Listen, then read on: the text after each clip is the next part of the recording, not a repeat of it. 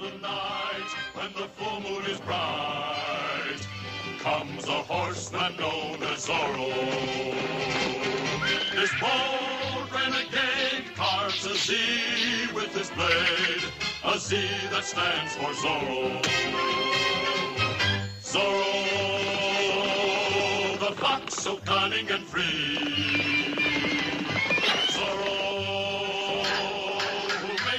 sign up the sea.